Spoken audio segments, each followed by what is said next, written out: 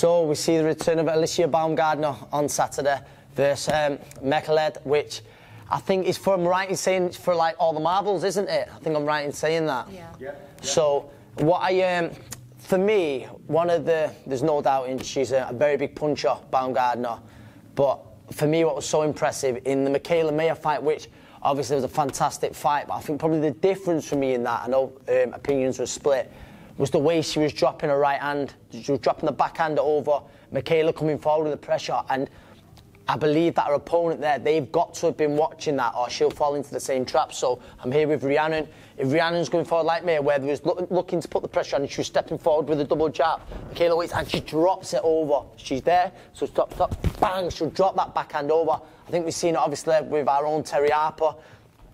And that, for me, that's going to be probably the key in the fight, to be honest. If, if Baumgardner can find a home for that right hand, the backhand, from early on, I don't see any other outcome than a pretty convincing Baumgardner win.